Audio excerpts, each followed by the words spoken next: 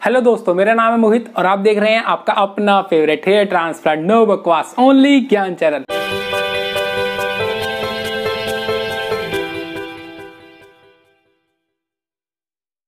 दोस्तों, आज की इस वीडियो के अंदर हम बात करने वाले हैं एक ऐसे पेशेंट के बारे में जिन्हों कि ग्रेड सेवन हो गया था और दूसरे बड़े बड़े क्लिनिक्स ने उन्हें मना कर दिया था कि अपना हेयर ट्रांसप्लांट मत करवाइए सक्सेसफुल बिल्कुल भी नहीं होगा। लेकिन उसके चार साल बाद ये मिलते हैं इस क्लिनिक से, जिसके बारे में आप लोगों को बताने वाला हूँ। और यहाँ पर इन्होंने, डॉक्टर लोगों ने इन्हों को बताया कि उन्हों का हेयर ट्रांसप्लांट हो सकता है और समझाया कि किस तरीके से हेयर ट्रांसप्लांट हो सकता है और एफ़ यू टेक्निक से ही इन्हों का हेयर ट्रांसप्लांट हो सकता है। जबकि एफ़ यू टी से इन्होंने पता किया था कुछ टाइम पहले और वो बहुत बड़े डॉक्टर है, नामी ग्रामी। उन्होंने मना कर दिया था, उन्होंने सजेस्ट किया कि भाई आप विक का यूज़ करें, आपका हेयर ट्रांसप्लांट नहीं हो पाएगा। लेकिन चार साल बाद फिर से इन्हें लगा क्योंकि इन्हें किसी ने रेफर किया कि भाई इस क्लिनिक के अंदर चले आओ, दिल्ली के इस क्लिनिक के अंदर यहाँ पर आपका हेयर ट्रांसप्लांट हंड्रेड परसेंट हो जाएगा। क्योंकि लोगों को उम्मीद तो रहती है कि बाल आ जाए, कैसे भी आ जाए, बंदा एक बार जिसके बाल चले जाते हैं, वो इस फिराक में लगा रहता है कि कैसे ना कैसे करके उसके बाल आ जाए। तो ग्रेड सेवन का बाल लेसन होगा अब इनके बारे में बताता हूँ कि इनका किस तरीके से प्लानिंग हुई, किस तरीके से सर्जरी के बाद इनको कैसा फील हो रहा था। आज से चार महीने पहले इन्होंने वीडियो बनाई थी, वो वाली। और आज चार महीने बाद इनके कितने बाल आए हैं? या इससे पहले की वीडियो आगे शुरू करूँ, मैं आप लोगों को बता देना चाहता हूँ कि चार महीने में रिज़ल्ट दोस्तों पूरा नहीं आता है। पूरा रिज़ल्ट आने के लिए कम से कम आठ से दस महीने का टाइम लगता है। तो इसमें जो आप रिज़ल्ट देखोगे, उसको ये मत मान लेना कि अरे, ये तो हेयर ट्रांसप्लांट फेल हो गया। अरे, इसका तो रिज़ल्ट नहीं आया, बेकार हुआ है। ये मत देखना। आप देखना चार महीने के हिसाब से इनको कितने बाल आ गए हैं।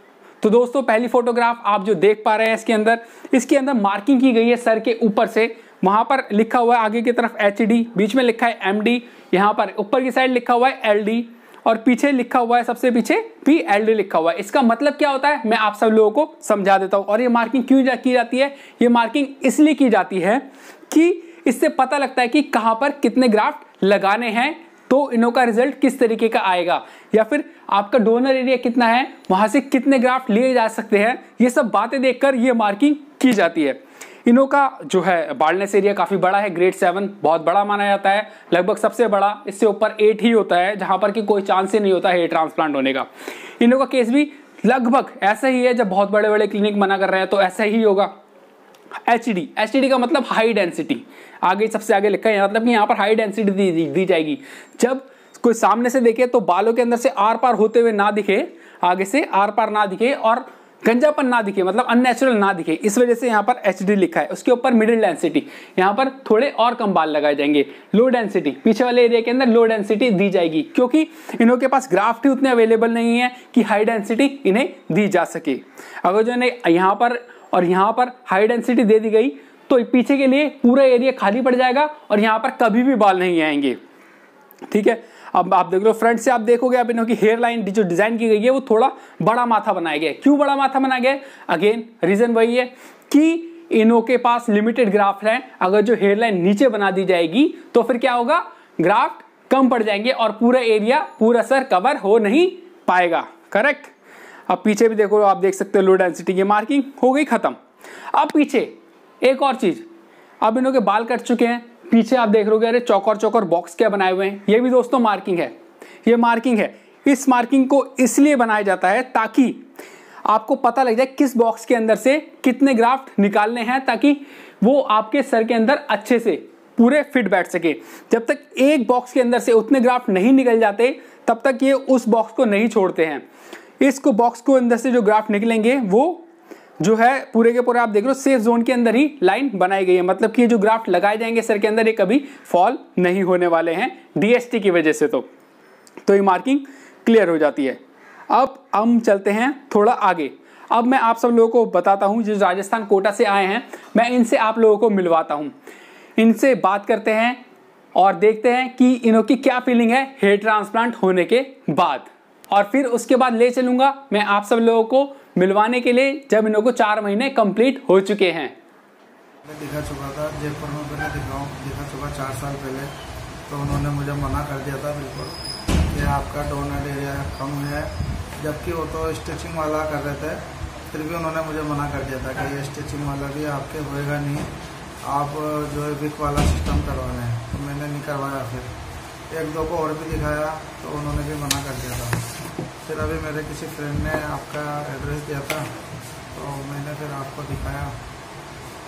तो बहुत अच्छा रिज़ल्ट मेरे को अभी आपने दिया sir. Thank you so much Aslam ji. Aslam ji मुझे आप ये बताइए ड्यूरिंग सर्जरी आपको कैसा रहा कैसा एनवायरनमेंट रहा हमारा? यहाँ पे आपको कैसा लगा? बहुत बढ़िया सर। बहुत बेहतर बहुत अच्छा। कैसा आपका एक्सपीरियंस रहा आज? पेन आपको कितना रहा? ये सब तो- मोस्टली ज़्यादातर क्लाइंट यही जानना चाहते हैं कि पेन कितना होता है। तो और एक्चुअली सर थोड़ा बहुत तो होता ही है देखो। हाँ। लेकिन कोई इतना ऐसा नहीं हुआ कि सेन ना हो। और आपने जो है हर दो दो मिनट में एक एक मिनट में मेरे को मोस्टली बार बार में मेरे से पूछते रहे आप कि कितना पेन हो रहा है। और बार बार में आपने मेरे से पूछ के फिर आगे जो है उसको किया ट्रीट तो हर बार आपने मुझसे जब भी मेरा ट्रीटमेंट शुरू किया तो मोस्टली पहले मेरे से पूछा आपने कि कितना पेन हो रहा है यहाँ है यहाँ है यहाँ पेन है। फिर आपने मेरे से अगर मुझे ज़रा सा भी पेन कहीं लगा तो आपने फिर मेरे को वहाँ पे सुन किया फिर उसके बाद मेरा आगे काम किया। तो इतना ज़्यादा कोई वैसे पेन नहीं हुआ। थोड़ा बहुत तो होता है जो है सही कोई इतना वो ऐसा नहीं है कि सेन ना हो। या कोई बहुत ज़्यादा प्रॉब्लम हो या बहुत तकलीफ़ हुई हो, ऐसा कुछ नहीं सर तो ये हमारे असलम जी हैं जो अपने फ्रेंड का हेयर ट्रांसप्लांट देखने के बाद हमारे पास मोस्टली आए। तो ये बहुत बड़ी बात होती है, अगर आप किसी के रेफरेंस से आ रहे हो तो बहुत बड़ा अचीवमेंट होता है आपके लिए। तो ये असलम जी हमारे आए थे कोटा से, राजस्थान से हैं ये, और अच्छे खासे बिजनेसमैन हैं ये भी। कोटा में अच्छा खासा नाम है इनका। और आइए मैं अब आपको इनकी हेयर ट्रांसप्लांट की सर्जरी दिखाता हूँ कि हेयर ट्रांसप्लांट की बेसिकली इनकी सर्जरी हुई कैसे है। असलम थोड़ा सा नीचे करिए। ये देखिए, ये इनका हमने कवरेज करा है पूरा। आगे मोस्टली जो ये फ्रंट पार्ट है, इतना पार्ट हमने हाई डेंस पैक करा है। इसके बाद पीछे हम मीडियम डेंसिटी में गए हैं, जिसमें से हमने मोस्टली बी के बाल लगाए हैं। आप देख सकते हो। बी के बाल क्राउन में हमने इसलिए लगाए हैं क्योंकि क्राउन एरिया में सर्वाइवल रेट डोनट एरिया का कम रहता है बी का ज़्यादा रहता है। तो इसलिए हमने बी के बाल ज़्यादा लगाए हैं। तो आप ये देख सकते हैं डेंसिटी में आपको दिखा रहा हूँ पूरा कि डेंसिटी कैसी डेंसिटी रही है। और असलम साहब के जो भी ग्राफ थे वो तीन से चार वाले थे। तो इनशाला कि बहुत अच्छा रिज़ल्ट आने वाला है असलम साहब का और ये बहुत खुश होने वाले हैं और इनकी जो एज है अभी के अकॉर्डिंग कम से पाँच से दस साल के पीछे जाने वाले हैं। जो इनके बच्चे को इनसे प्रॉब्लम थी कि पापा आप भी बाल लगाओ वो इनकी प्रॉब्लम मोस्टली अब सॉल्व होने वाली है। बिल्कुल बिल्कुल सर। ठीक है। सब आप ही मेहनत है sir. Thank you Aslam ji thank you so much Aslam साहब के एक फ्रेंड भी हैं ये भी अ, अब लाइन में है असलम साहब को देखने के बाद कि इनका पहले डर था कि पहले पहले असलम साहब की उधर मोहरा बना के चलना चाह रहे थे आगे किसी को तो मोस्टली इन्होंने मोहरा बना लिया है और ये अभी अब ये खुद रीडिंग में देखिए इनका भी पूरा अच्छा खासा एरिया है। अब इन्हें भी हमें कवर करना है। ठीक है thank you so much sir Aslam ji and sir आप अभी ओके तो दोस्तों, अभी जो आपने वीडियो देखी, वो दो दिन की सर्जरी होने के बाद शूट की गई थी। आप लोगों ने देखा कि पेशेंट कितना अच्छा फील कर रहे हैं, कितना रिलैक्स फील कर रहे हैं, कितना वो पेन फील करते थे। उन्होंने सारी बातें इस वीडियो के अंदर आप लोगों को समझाई है और बताने की कोशिश की है। अब मैं आपको ले चल सकता हूँ चार महीने बाद, यानी कि आज की तारीख के अंदर। आज है तारीख 19 जब ये मैं वीडियो रिकॉर्ड कर रहा हूँ। आज ही इन्होंने अपना इंटरव्यू दिया है और चार महीने इनको कंप्लीट हो चुके हैं। अब जो आप वीडियो देखने वाले हो, उसके अंदर चार महीने हुए हैं। जैसा कि मैंने थोड़ी देर पहले बताया था कि चार महीने में पूरा रिज़ल्ट नहीं आता है। जो मैं आप लोगों को रिज़ल्ट दिखाने वाला हूँ, इन्हों की बातें बताने वाला हूँ, उसके अंदर पूरा रिज़ल्ट नहीं आया है। अभी उन्हों का सिर्फ़ 50 परसेंट रिज़ल्ट आया है 50 परसेंट आना बाकी है, जो कि आने वाले आठ से दस महीने में पूरा रिज़ल्ट हो जाएगा। और अल्लाह मैं आप लोगों को उन्हों का आगे का रिज़ल्ट भी दिखाऊँगा। और आप सब लोगों को बहुत खुशी होगी देखने के बाद। तो दोस्तों अब चलते हैं अगली वीडियो पर, सुनते हैं कि वो क्या बोल रहे हैं, क्या नहीं। और जब आप वीडियो देखोगे तो आप इस बात का ध्यान रखना कि वो पहले कैसे लगा करते थे और आज की तारीख में कैसे लगते हैं।